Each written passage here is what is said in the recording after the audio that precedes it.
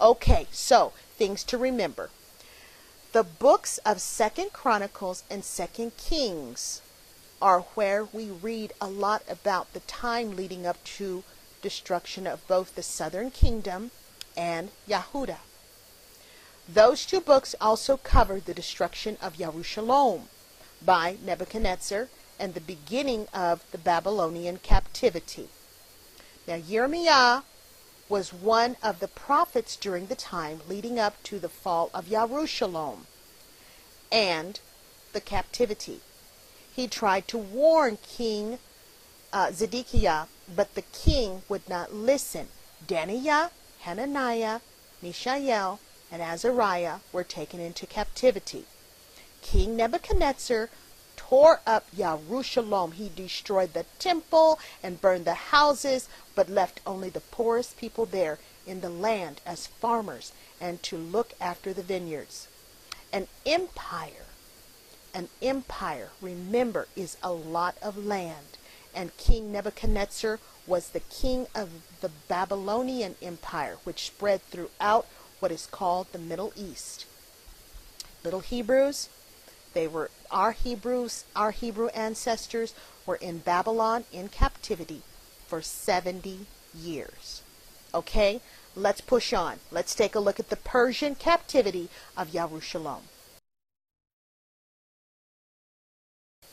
During the time of King Nebuchadnezzar, remember he had a dream, okay? And Yah revealed to Daniel what the dream was and what it meant. It was a prophetic dream, little Hebrews, about many kingdoms. You remember, little Hebrews, the dream about the great image with the head of gold, um, its chest and arms of silver, its belly and thighs of bronze, its legs of iron, and its feet partly of iron and partly of clay. And you remember that later Daniel himself had a dream about four animals, each representing a kingdom.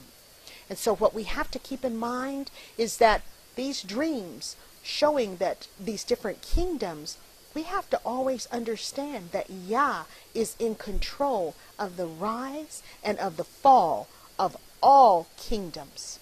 Well, let's take a look at the Persian Empire and how, you know, what happened and how they came to rule over the uh, Hebrews. Now, little Hebrews, the Persian Empire was created by a man named Cyrus II, who was also known as Cyrus the Great. Cyrus first conquered a people called the Medes.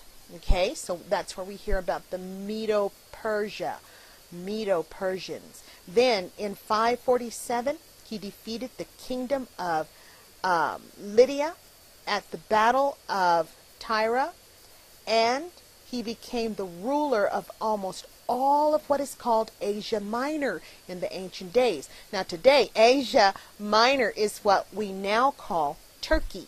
All right? Well, soon after Cyrus defeated the con- and conquered the Medes, he also defeated the Greek cities that were built on the coast of Turkey. Well, Cyrus started a rule of letting conquered areas have some freedom to rule themselves as long as they paid him taxes. Okay, so he was after the money. And while the people paid him taxes, he let them have their local religions. And we know that they were worshiping their pagan deities. So the Persians were out there taking over everything.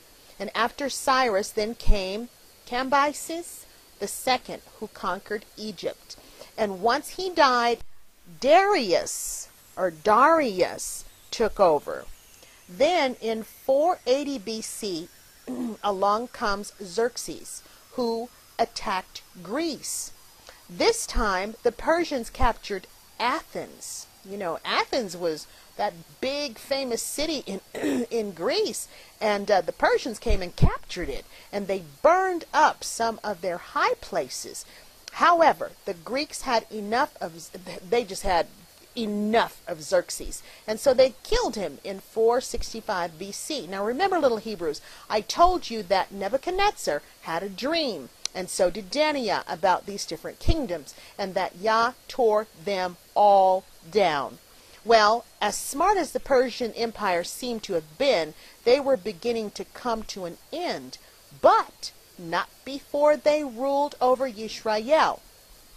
So in 539 BC, the Persians captured rich and powerful Babylon, which put an end to the Babylonian Empire. This means that the Persians now ruled over, guess who? You got it, the Hebrews that were in captivity under Babylon. Now, little Hebrews, do you remember I told you that the Persians allowed each part of their empire um, a certain amount of freedom? Well, Cyrus, the king of Persia, allowed the Hebrews to return to their homeland, Yerushalayim, to rebuild the temple. And in 536 BC, the rebuilding of the temple began. So, although the Hebrews were in captivity, they were allowed to return to Yerushalayim. Now, this punishment was quite different than the one we are on now, because as it is written in Deuteronomy 28 and 68, and Yah shall bring you back to Mitzrayim in ships, by way of which I said to you, you are never to see it again. You see, little Hebrews, our people, even though in captivity under Persian rule, they could go back to Jerusalem, but we can't for 400 years. So, the Samaritans were there in Jerusalem, okay, and they offered to help with the rebuilding of the temple. But Zerubbabel, the leader of the of the of the Hebrews or the or the Israelites, refused to let them help. So the work soon stopped because of fighting and bullying from the Samaritans who were angry because they could not help rebuild the temple. Well, little Hebrews, so much was going on during these times. The prophets Zechariah and Haggai encouraged the people to continue rebuilding the temple. Little Hebrews, you remember Esther and how she risked her life to make sure our people, the Hebrews, were not completely wiped out.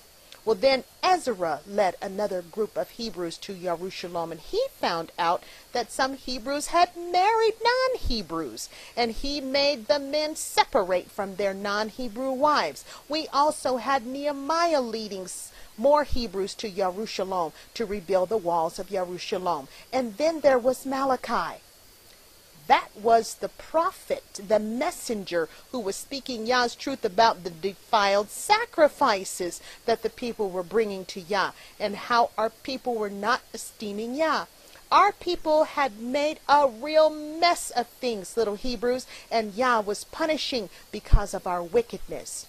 Uh, so then Alexander the Great comes on the scene. And what happens to Jerusalem?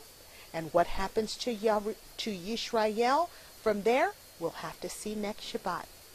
And with that, little Hebrews, that is our lesson today. And I bid you shalom. Shabbat shalom.